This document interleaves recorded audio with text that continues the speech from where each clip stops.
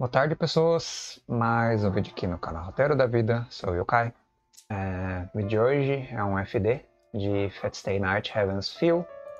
Deixa eu o nome inteiro. Lost Butterfly. Fat Stay Night, Movie, Heaven's Feel. 2, né? Filme 2. Lost Butterfly. Borboleta Perdida. É, esse filme aqui ele é um pouco mais longo, acho. Ou mesma média de horário. Tem quase duas horas de filme ele continua o primeiro filme, né, de, da saga da Sakura, do fim da Sakura, um dos fins de Fat Stay. Tem três fins, o fim da Saber, da Tousakarin e o da Sakura. Eu acho que são esses clássicos, os fins clássicos, né, do, do eroge barra novel, light novel. É meio misturado, eu, eu, diria que é mais light novel que eroge, mas é uma, é uma light novel uma, mais adulta, pode dizer assim. Que deu em toda a saga e toda a franquia do, do da, da Type Moon, que é do mundo do Fate Stay Night. É, e outros agregados também, como Tsukihime, Karano Kyokai e periféricos. Mas, enfim, voltando aqui. Então, nesse segundo filme, temos a continuação né, da história da Sakura, dos servos e dos mestres. Esse segundo filme ele pega muito mais o aprofundamento do personagem Sakura. Ele descreve como funciona o poder dela, em parte, dá ênfase no poder dela. Tem algumas margens que eu vou passar daqui a alguns instantes. Mas ele descreve bem assim como é que funciona a dinâmica de aprendizado do, da magia dos Matou, mas pode ser chamado de Mikiri, que é uma família de magos que tem esse duplo nome, né? Mikiri ou Matou, acho que é Mikiri, se eu não me engano. Mas os Matou, ele tem essa pegada de a linhagem está em decadência. Tanto é que o velhão lá, o vô deles, que é o Zougen, acho que é Zougen, nossa, esqueci o nome dos protagonistas Deixa eu ver se o nome dele tá aqui. Ai, não vai. Tá. Vamos ver se tá aqui se eu clicar aqui.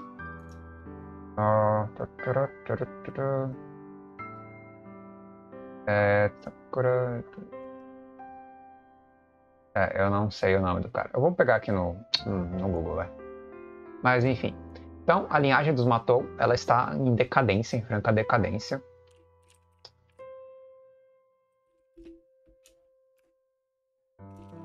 E o Shinji, ele não é um mago de verdade, é um mago abortado, como eu tinha dito no, filme anterior. E nisso, Zouken, não é Zougen, é Zouken. E nisso, a gente tem essa variação que é a Sakura ser adotada. Aí tem uma cena muito bonita, né, que é, mostra ela no, no passado dela. Tô apertando a campainha, não vou atender. Mostra ela no passado dela, que é quando ela era criança e quando ela perde de vista o pai e a irmã dela. A mãe dela acho que já tinha falecido, mas é do trem assim. E mostra os insetos, os vermes, que é a iniciação dela como maga. A iniciação dela como maga é quando ela aprende a usar a magia dos dos é, dos matou. E cara, é triste. Aquela magia é brutal. Qual o fundamento da magia dos matou? É assim. É, eu vou passar as imagens para vocês, que eu tô me enrolando todo por causa da campanha que tá tocada, eu não vou atender. Qual a origem da magia dos Matou? Assim. Você, por exemplo, tem, é, digamos, uma magia necromance. Uma magia que eles criaram, por exemplo, os, os comandos, né, os, os, selos de comando. E a família da, da ilha, que eu não vou saber pronunciar o nome, Slasville, foi que criou os homúnculos para ser receptáculo do cálice sagrado. Os selos de comando é uma magia de forçar é, uma espécie de, como eu posso dizer, é inserir dentro do corpo humano algo externo a ele. E a magia dos, do, dos, dos Matou funciona assim: eles inserem a magia dentro de seus círculos de magia, junto à conjuração e à doma de seres místicos, mágicos, que no caso são os insetos, que no caso são. Uh, eu diria insetos, mas são vermes também. E nisso você tem o seu corpo consumido, eles vão para dentro da sua pele, eles vão para dentro da sua carne, eles estimulam o seu círculo mágico, e conforme você vai envelhecendo na, na magia, você vai se tornando um ser não carnal, você vai se tornando uma, uma conjunção de vermes. O Zouken, por exemplo, ele tem 200 anos, se eu não me engano, 200 e poucos anos. Ele é velho pra cacete. Só que ele já não tem um corpo físico, o corpo dele é totalmente decrépito. Ele busca a imortalidade, ele quer usar o cálice para buscar a imortalidade. Como o corpo dele é totalmente decrépito, ele não consegue mais manter a estabilidade física dele. Então ele é um monte de verme. Ele é um ser morto-vivo. Ele é um morto-vivo. E a Sakura é o quê? A Sakura é uma aprendiz de morto-vivo. Literalmente. Só que no caso das mulheres é pior do que no caso dos homens. Os discípulas femininas dos, dos Matou, elas têm uma parte do cérebro que é consumida. Não, acho que também consome dos homens, mas isso destrói com a capacidade do corpo dela se sustentar vivo. Eu acho que a Sakura tem uma longevidade de vida muito baixa. Muito baixa. Eu diria que ela tem uma média de 20, 30 anos de vida no máximo. É, então, quando ela vai, ela é inserida no, no, círculo de magia deles. Ela fica 11 anos sendo é, iniciada, pode-se dizer assim, ao mesmo tempo assediada, ao mesmo tempo abusada, estuprada, pode dizer assim, ao extremo. Então é o seguinte: é, é, ela perde a capacidade lentamente de manter a sua, o seu controle psicológico. Ela começa a se tornar insana por causa da magia. Porque o centro de prazer dela, de emoções e de, de sensorialidade, o, o, cerebelo dela, o cerebelo e a sensorialidade dela, o estímulo de prazer e de, de dor dela é consumido pelos vermes enquanto eles estimulam e dão magia para ela. É uma troca meio que não equivalente, onde os vermes eles ajudam ela a potencializar a magia e a ser uma maga proeminente e eles consomem a carne dela e vão degradando, decompondo parte do cérebro dela. E nisso ela vai perdendo funções corporais. Quais as funções que ela vai perdendo? Inicialmente, o controle da libido, na verdade, ela é estimulada ao extremo, a libido dela é tipo 20 vezes maior do que o normal. Então ela é uma pessoa muito delicada, entendeu? Muito sensível. Os sentidos dela são a flor da pele na, na origem da palavra. Então, quando ela. É, por isso que ela é a personagem que é entendida como, é, sei lá, et, né? Et no sentido de é, sexualizada, no sentido de. Porque ela é, tem de fato uma constante vontade sexual, um líbido muito constante. E é dada muita dor dela. Ela controla isso no melhor modo que ela pode. Mas enfim, os Matou criaram ela, ela foi apartada da família original dela. A Arin dá o laço dela, aquele laço que ela usa, que a Sakura usa, é o maior presente da vida dela que ela ganhou. E o segundo maior presente da vida dela é a chave da casa do Shirou, quando ela foi ajudar o Shirou, entre aspas, é, que estava com o braço machucado, do clube de arquearia e tal. Né, ele, ela foi ajudar, mas ela também estava fugindo de casa. Por que ela estava fugindo de casa? Porque o treinamento desmatou é um inferno. Ela não gosta do vô dela, que é o vô Zouken, né? Esse velho infeliz aí ela não gosta do Shinji e o Shinji é um estuprador pedófilo lazarento. Pedófilo não porque ele tem a mesma idade que ela, mas ele é um estuprador filho da mãe. É, ele fazia ela de do avesso, assim, fazia o que queria com ela, desde sempre. E ela sempre foi abusada. E o Shinji ele tem esse esquema de baixa personalidade, ser um mago abortado, ser um babaca. Não sei em cada, assim, cada variação, né? Cada fim do Fat Stay como é que funciona isso. Mas nesse fim específico do Heaven's Feel, o Shinji é a pior pessoa do mundo. A gente quer que ele morra o tempo inteiro. De fato, ele morre depois, mas. Spoiler. Mas é, é uma pessoa de merda. Então a Sakura tem todo esse dilema de estar inserida nessa magia decadente que dissolve as capacidades de controle emocional e de lascividade dela. Ela se torna um, um ser completamente impotente frente a, a seus estímulos é, enquanto seus. É, é paradoxal, porque enquanto os seus estímulos são a flor da pele, eles vão, depois de um tempo, eles vão deixar de existir, eles vão cessar. Tanto que ela perde o paladar, ela vai começar a perder o tato, ela vai começar a perder a audição, a visão, ela vai se tornar um ser. Ela vai morrer, ela vai ser assassinada pela magia. De acordo com o que eu entendi, a longo prazo. Então ela tá há muito tempo. Então a ilha chega e fala, a ilha chega e fala para ela um momento, né? Olha, você é uma pessoa morta. Mas tem um outro agravante dela ser uma pessoa morta. No momento que a Ilha fala isso, ela já ia morrer por causa da magia dos Matou. Só que ela morre, sabe por que ela morre? Ela morre porque o cálice foi colocado dentro dela. O cálice, ele transborda, ela é como se fosse um portão, um receptáculo, ele transborda seus, a sua vontade, a sua volição negativa, a sua maldição. E a maldição é a sombra que a gente vê o anime inteiro. Aquela sombra poderosa, corrompida, que consegue absorver servos que carrega toda a tragédia do cálice na história do cálice está transbordando do corpo da Sakura. É como se fosse a, o subconsciente inserido dentro do cálice, tomando o subconsciente da Sakura e tomando a consciência da Sakura e também tomando a organicidade do, do, do, do recipiente. Ou seja, a corrupção está tomando uh, o recipiente como um manequim, como uma marionete, como, uma, como um receptáculo orgânico descartável. É como se o cálice tomasse a forma humana e a Sakura morresse. Essa é a prática. Só que nisso ele também vai corrompendo a psicologia dela lentamente. Então a Sakura tem um monte de desvios de psicologia que ela vai lentamente tentando, tentando manter a sanidade. Mas ela vai perdendo a sanidade lentamente e não tem como. É, é muito difícil de sacar isso porque ela é uma pessoa muito forte. Ela é muito forte. Você quase não percebe isso. Ela, ela se segura tanto a libido dela quanto o fato dos cálices estar corrompendo o psicológico dela, corrompendo o subconsciente dela, ela segura na unha. Mas ela sabe.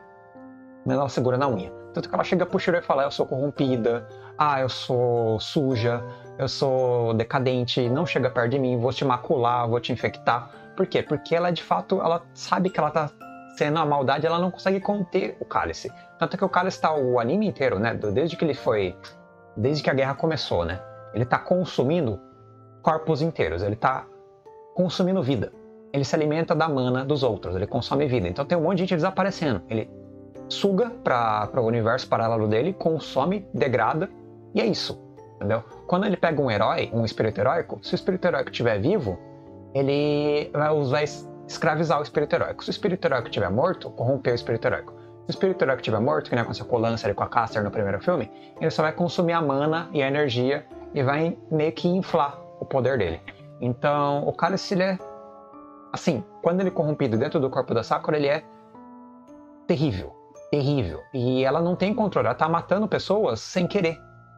Sem querer. E o Zouken, que pensou, vou controlar o cálice colocando ele do, dentro do corpo dela, ele chega num ponto do filme que ele chega e fala pro Emiya, cara, lascou. Dá um jeito ali.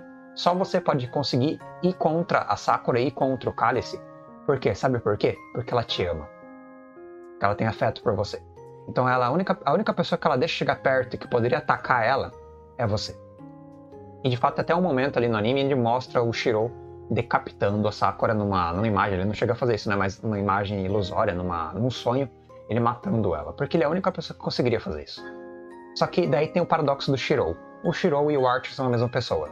O Archer chega e fala pro Shiro quando ele resolve proteger a Sakura. Olha, você tem uma escolha. Se você seguir essa escolha até o fim, você não vai perder nada. Mas se você é, ir contra o seu ideal utópico de herói, você vai perder tudo. Exatamente tudo. E o Shiro, para ele ir contra o herói utópico de herói dele, é ambíguo, na verdade é paradoxal. Tem duas escolhas.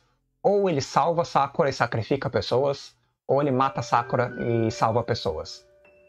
Nenhuma das respostas é certo. Ele perdeu no jogo. O jogo é perdido, é um jogo perdido. Ele salvando a Sakura, ele vai matar um monte de gente por tabela. E ele tá matando um monte de gente por tabela. Então ele já tá corrompido. O ideal heróico dele de utopia, de ser o justiceiro, de ser a, a, o reflexo do Kiritsugo, ou algo do gênero, foi por água abaixo. E, e ele não consegue, porque ele é fraco, ele não consegue sacrificar a Sakura. Ele tenta no momento do anime, ele não consegue. Quando ele não consegue, ele corrompe o seu ideal heróico. Quando ele corrompe o seu ideal heróico, vou passar na mão agora essas imagens, tá? Quando ele corrompe o seu ideal heróico, ele entra em parafuso, ou seja, ele, de acordo com a profecia do Archer, que é ele no futuro, ele vai sacrificar todo mundo. Não tem o que fazer. Ele vai, ele vai perder todos os amigos, ele vai perder o destino, ele vai perder o futuro. Shirou tá numa encruzilhada impossível. Impossível. E nisso tem todo o esquema, a grande animação do Unlimited Blade Works também, né? Mas a grande animação do Heaven's Feel. É lindíssima essa luta do Berserker com a, com a Saber, a Saber Dark no caso. É brutal, o Berserker apanha, mas ele dá combate. É o, é o meu. Eu acho, particularmente, eu acho que é o servo mais poderoso e é um dos meus preferidos. Eu adoro as lutas do Berserker, mas ele leva um couro. Ele não chega a morrer, eu acho. Mas ele fica. Ele tem 12 vidas, acho que ele perde umas 7 aqui ou mais ou menos isso. Deve estar com umas três ou duas no máximo ainda restando. Mas joga ele para escanteio para dar pro terceiro filme uma, uma ênfase, né? Que o Berserk era mais lá. Mas ele leva um pau. A Saber também ela tá com mana ilimitada, porque ela tá pegando a mana do cálice. Ela não tem um mago como é, cedendo a mana para ela. Ela tem o cálice cedendo a mana para ela. Então ela dá uns Excalibur, ela dá uns 20 Excalibur seguido, cara. E o Excalibur é aquela porcaria aqui, mano. O negócio é uma puta de uma bomba, entendeu? É muito forte esse golpe. É o golpe mais ignorante de todos os golpes de todos os servos. E ela joga, ela faz isso aqui com uma mão nas costas, como se tivesse, entendeu? É, mana ilimitada. E, nossa, arrebenta com o Berserker. Mas o Berserker dá um combate lindo, ele luta tão bem. Ele se desvenecia, des, desvia. Ele se desvencilha do da, do, do, da sombra, entendeu? Do, o Archer também explica uma coisa importante sobre o Archer, que no caso é o Shirou do futuro, que ele é um servo irregular. Eu não sei ao certo, não lembro porque ele é um servo irregular, mas ele não é um servo é, oficial, ele é como se fosse um servo híbrido, fora que ele é um mago, né? Ele é. Bom, ele é um mago das espadas, pode dizer assim. Tanto que tem uma cena lindíssima que eu amo o Archer quando ele chega e fala I am the bone of my sword e começa a conjurar a, a, o ritual dele de, de rogo dele. O rogo dele é lindo, o rogo do Archer é lindo, cara. Tanto a Zarya, o Arya, alguma coisa que é a barreira de oito camadas ou sete camadas, não lembro os nomes específicos, alguma coisa Arya. É muito legal, ele usa aqui. E defendendo, é que ele tá num combate ele contra a Sombra, a Sombra manda uma bomba atômica nele. Ele usa esse golpe enquanto ele tá quase morrendo e defende-se da bomba atômica. É muito legal, é muito legal esse golpe. E quando ele faz o rogo dele, que é o Unlimited Blade Works, que ele entra no campo das espadas, ele consegue materializar qualquer espada que ele já viu. Tirando a espada última do Gilgamesh, que é aquela espada original lá da, da origem, que eu nem lembro o nome, que é muito apelona, eu acho que qualquer outra espada ele materializa, até Excalibur ele materializa. Mas dá muita dó dele, porque ele é um servo heróico decadente, né? Ele amputa o próprio braço para salvar o Shirou que perdeu o braço. Mostrei aqui a imagem do Shirou sem o braço? Ah, não peguei a imagem dele que tem o braço. Mas ele vai lá, amputa o braço direito, né? E a, a, a Ryder fala um pouco dela daqui a pouco, mas esse braço direito é tá cheio de círculo mágico no extremo. Se o Shirou tirar essa proteção aí, ele perde o controle e ele morre. Ele é um choque de magia. Ele, ele sofre um choque de magia e morre. A Eria fala que essa técnica de selar magia foi feita por um tal de Kirush Zeratin. Vocês podem estar vendo aí aqui. Kirush Zeratin. Eu não sei que personagem é esse. não sei a pronúncia disso aqui. Mas esse cara aqui, ele é o cara que fez essa magia do laço no, no braço do Shirou. Ele que fez essa, essa, essa restrição. Ele é um mago muito lendário na, na saga de, de, de Fate Stay, da Type Moon. Eu não conheço, eu não me lembro. Eu devo ter ouvido ele em alguns lugares, mas eu não recordo, assim, tô totalmente fora. Mas ele que deu essa, essa, essa enroladura no braço, né? Ah, e tem também o desfecho do relacionamento da Sakura com o Shirou, porque ela fica com um pouco de ciúmes da, da irmã dela, da, da Tarin, porque a Arin meio que tem amizade colorida um pouco com o Shirou, e ela também tem esse esquema de que ela gosta muito dele e ela se oferece para ele. Não se oferece, ela ah, seja meu, você, você não liga de pegar um corpo corrompido e, e ser meu namorado algo do gênero, e efetivar um relacionamento. E o Shirou gosta da Sakura, ele tem um carinho por ela, ela tá na casa dele há anos já, é, como convidada, e é uma relação muito bonita entre eles. E ela ainda tem sanidade aí, embora ela tenha uma libido extrema. E ela precisa dele para satisfazer a libido extrema dela, que é uma libido, enfim, terrível. E logicamente ela já foi estuprada várias e várias vezes pelo Shinji ou pelos magias do Matou, então ela se sente muito é, mal consigo mesma, ela se sente suja, ela se sente decadente, mas ela aceita o afeto do Shirou. E eles efetivam o relacionamento afetivo deles, é bonitinho. Desculpa por imagens um pouco mais explícitas. É, e aí voltamos para a saga também do Gilgamesh, antes de falar um pouco da Rider. Gilgamesh, ele é, tem o pacto que ele fez anteriormente no Fate Zero com o Kitomini, né, o Kirei, e ele mantém-se ainda no mundo humano, ele ainda está no mundo humano. É, pela força dele mesmo, porque ele é um rei, ele é, tem muita mana, ele é tipo o Portão da Galileia, o Babilônia, o Portão da Babilônia. Então ele é um cara que, com a ajuda do Kirei também, mas ele é um servo irregular completamente, que não desapareceu depois da última guerra, que se mantém no mundo humano pela sua própria força, e ele é muito forte. E tem uma frase do Kirei aqui que é muito importante, está falando do cálice também, e eu não lembro ao certo qual a fala, mas uma fala muito importante explicando o contexto da corrupção do cálice e o como ele deve ser destruído ou gerenciado, porque os milagres já são milagres decadentes e tem todo um papo da igreja ali, que ele vai efetivar o desejo dele ou a ambição dele é, de destruir a maldade e ser um padre de verdade que custe o que custar, algo do gênero. Ele meio que vai pro lado do, dos bonzinhos nesse filme, aparentemente. Porque nos outros filmes o queria um merda lazarento, né? Mas nesse filme ele vai um pouco pro lado dos bonzinhos. E o Gilgamesh ele vai enfrentar a Sakura. Aqui é um momento onde a Sakura tá conversando com a, com a, irmã dela, com a Arin, e ela fala Nessan. É bonitinho. É bonitinho. É porque a Sakura, ela, ela, nunca, ela não se considera a irmã dela, ela abandonou. A, quer dizer, as duas, nenhuma delas se consideram, né? Elas se consideram como estranhas, entre aspas. Tanto a Rin, que se sente mal por ter abandonado a Sakura, quanto a Sakura, que não sabe como se comunicar com a irmã dela, que é mais velha um pouco que ela. E também tem a fase da, da Iria e da Sakura ajudando a dominar o braço do Archer, do Emiya. Ele consegue materializar e tal o, o, as espadas já. Ele começa a usar, usar, os poderes do Archer já. Que é muito legal.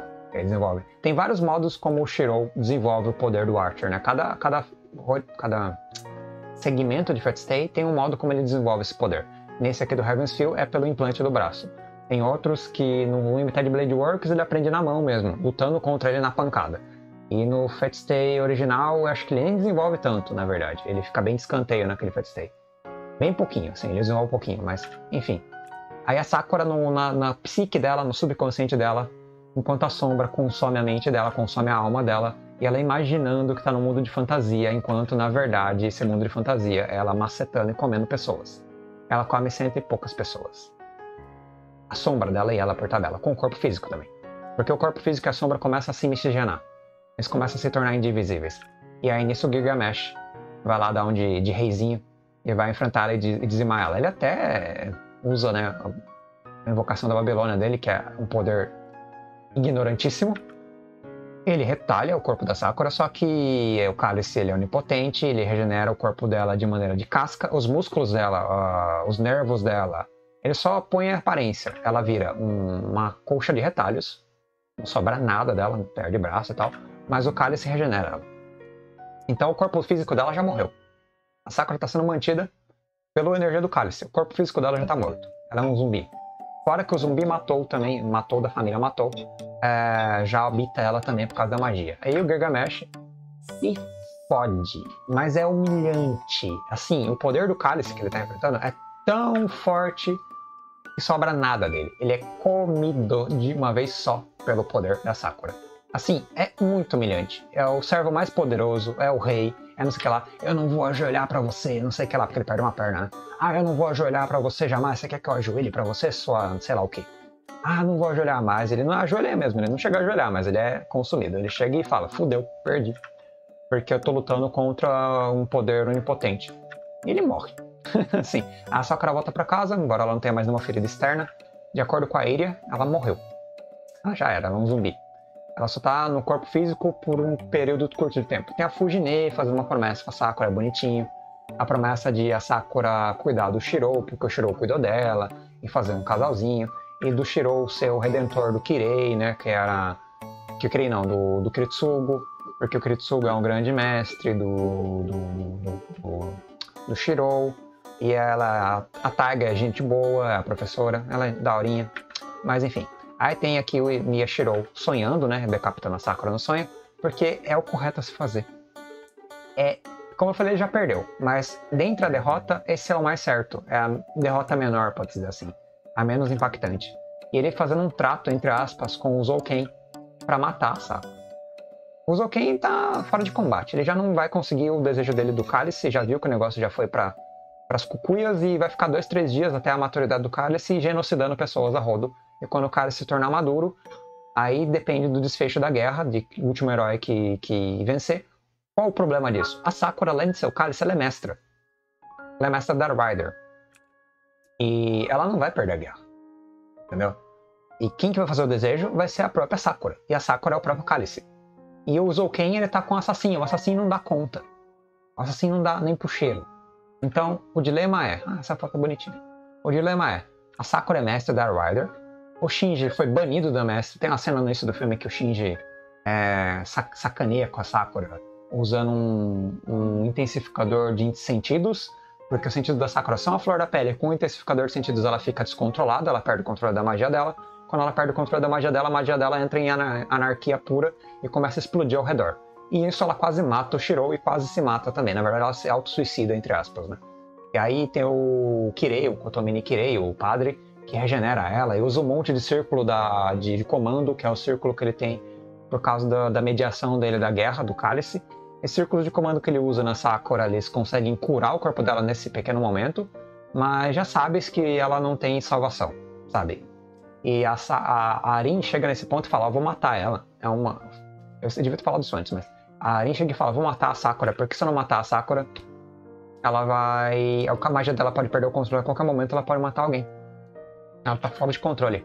Ela é uma máquina de destruição. Ela é uma máquina de destruição. Ela, ela não consegue controlar a magia. A magia dela ela entra em colapso e consegue e começa a destruir tudo ao redor.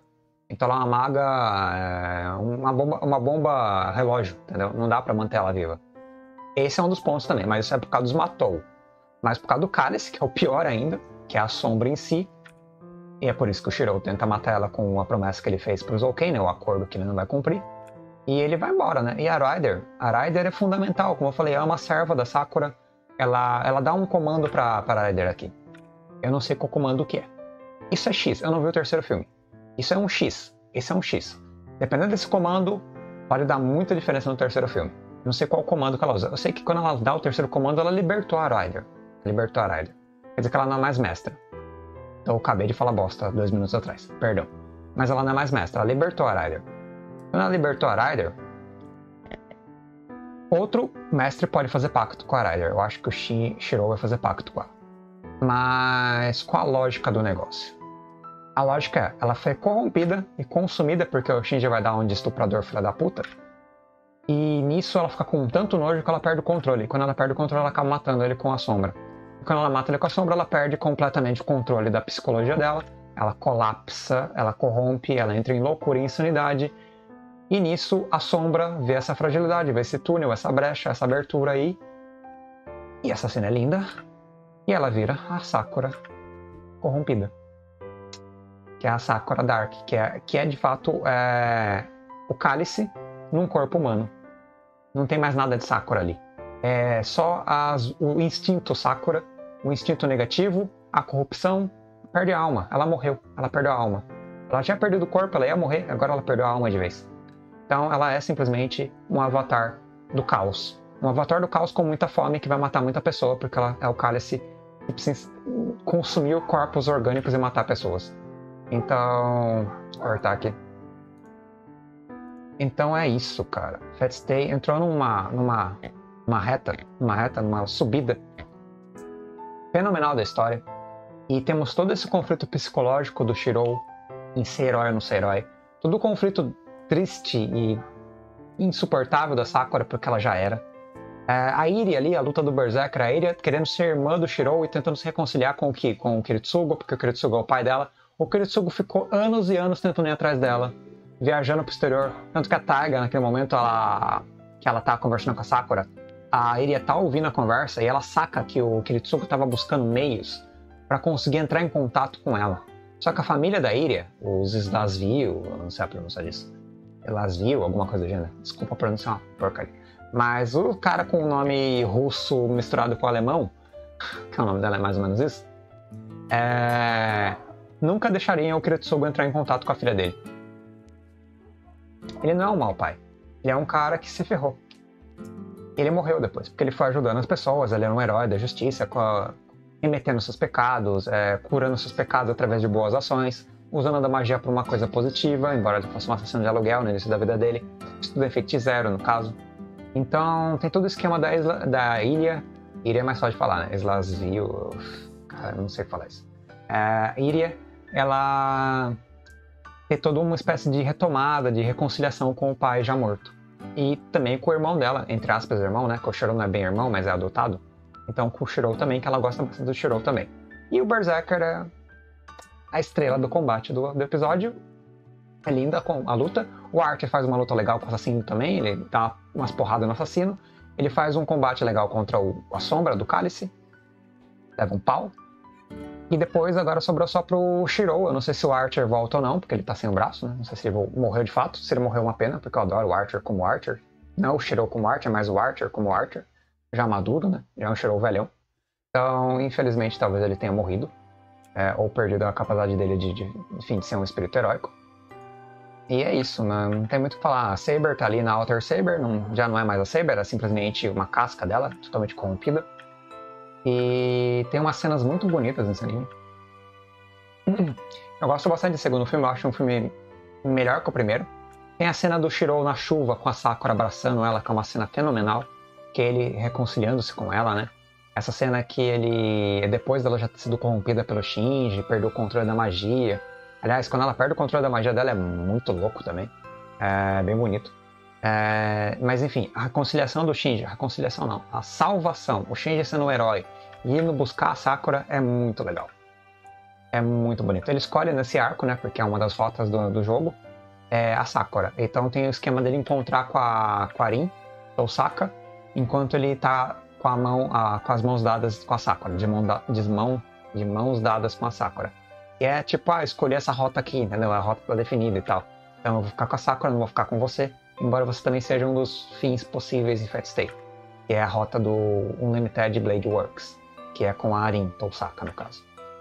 Então é muito legal, é muito bem dirigido, é muito graficamente bonito, é, a trilha sonora é fenomenal, é um filme muito gostoso de ver, flui muito bem, é, o roteiro é bom, as imagens, do, as imagens não, a, os contextos de cada protagonista, de cada personagem, as circunstâncias de cada personagem, o Zouken, a Iria, o Berserker, a Sombra, funciona. Você descobre as motivações do Zouken, que ele quer ser imortal, você descobre que a Iria é só uma menina carente que perdeu o pai, e a Tousaka é só uma, sei lá, Tousaka é bem pau pra toda obra, na verdade, né? ela serve para tudo, é a maga é, adequada, né? A maga mais competente de todas, mais adequada de todas.